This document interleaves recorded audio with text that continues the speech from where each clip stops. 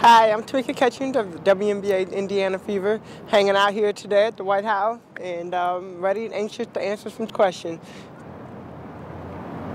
Valerie, great question. One of the things that I think is really important is as parents, maybe doing things that make the kids have to walk a little bit further, such as we all like to go to the mall, we like to go, well, some of us like to go to school, and you know, you like to do things, entertainment, restaurants, going out to eat, dining, all that good stuff, but maybe parking farther away, making the kids have to walk a little bit farther.